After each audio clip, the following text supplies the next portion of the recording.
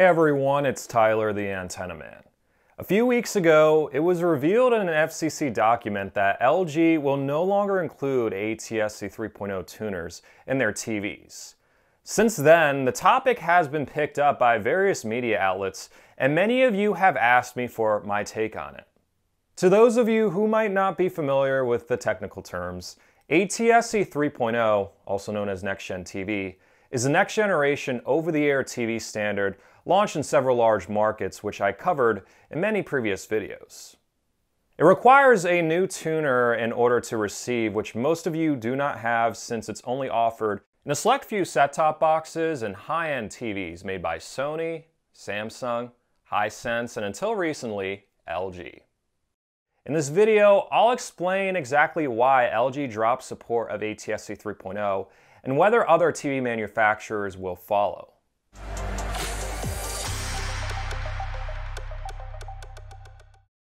If you're a cord cutter or use an antenna, make sure to subscribe to my YouTube channel and hit the bell icon to receive a notification whenever I post a new video.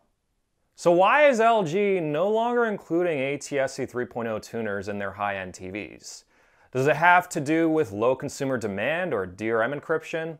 According to LG, the decision to drop ATSC 3.0 was a result of a court ruling over a patent dispute.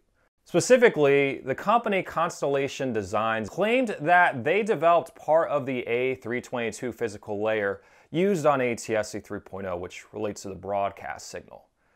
Constellation Designs sued LG in court. The verdict ruled against LG and required them to pay $6.75 for every TV sold with the Next Gen logo.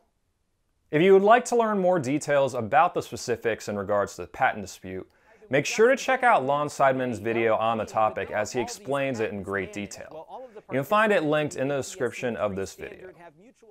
The fact that LG dropped ATSC 3.0 over what was a relatively small $1.6 million verdict kind of surprised me because if next-gen TV really was an important high-demand feature, LG would continue to support it and simply pass the costs onto the consumer.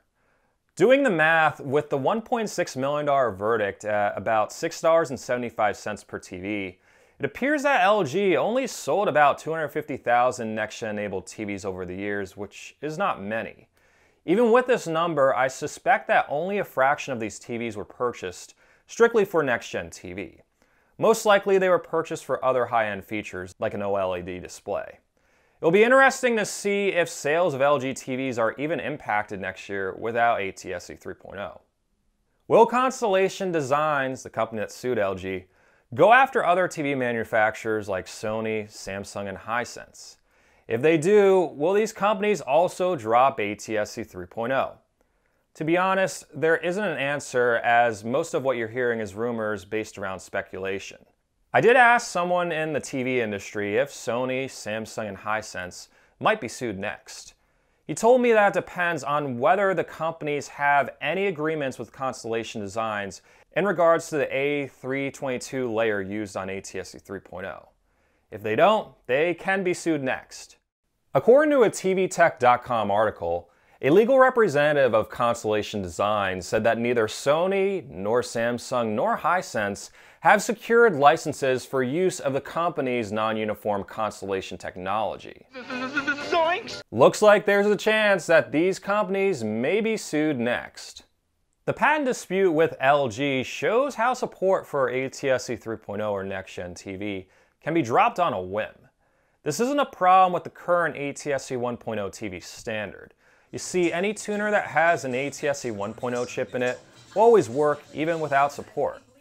However, ATSC 3.0 needs constant updates from the manufacturer to decode DRM encryption and for future features released on the TV standard. Should the manufacturer decide to drop support for it like LG, the TV may no longer work for ATSC 3.0 down the road. My personal opinion is that too many entities involved in this new TV standard are trying to make as much money as possible and it's screwing things up. You have companies making money through patents, which is normal for new technology. But then you also have companies like Dolby making money through licensing of their AC4 audio codec. The A3SA making money by requiring DRM certification, which costs hundreds of thousands of dollars. TV stations making money through targeted ads and quite possibly using DRM to put valuable content behind a paywall down the road.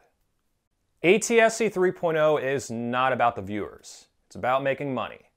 If it was truly about the viewers, broadcasters wouldn't have prematurely turned on DRM encryption, which locked HDHomeRun and ZapperBox users out of accessing some local channels. This is literally what I get from my ZapperBox in the Philadelphia market. Look at all of the channels that are encrypted. It's absolutely ridiculous. All these issues back up what I have been saying, that we are still in the very, very, very early stages of ATSC 3.0. When I first covered this new TV standard, it seemed that new ATSC 3.0 TVs and set-top boxes were comparable to early ATSC 1.0 tuners in the way they could be purchased and just work for years to come. However, it now seems that some kinks need to be ironed out.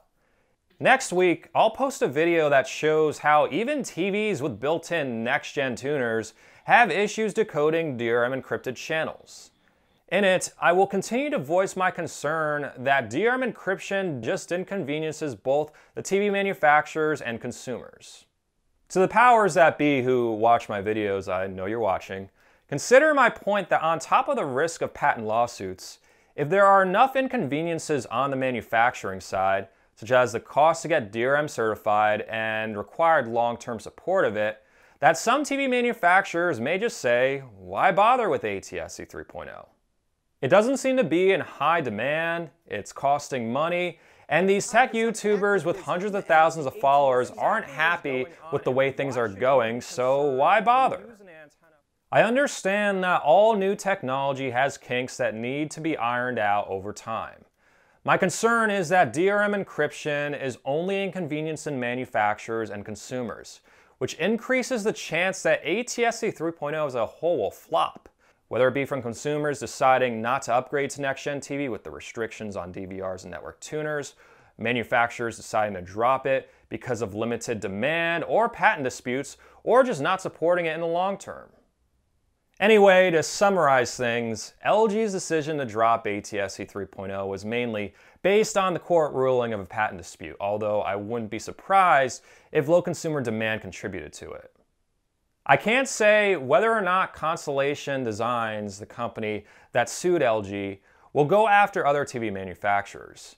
Based on information in this TVTech.com article, there's certainly a chance, but it's also possible that the companies might come to an agreement before sending it to court.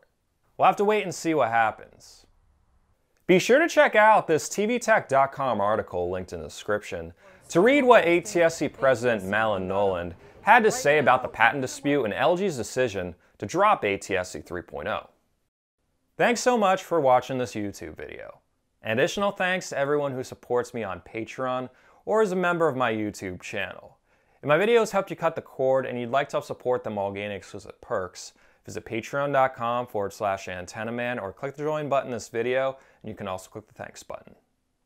Like my Facebook page at facebook.com forward slash antennamanpa or sign up to my email list linked in the description.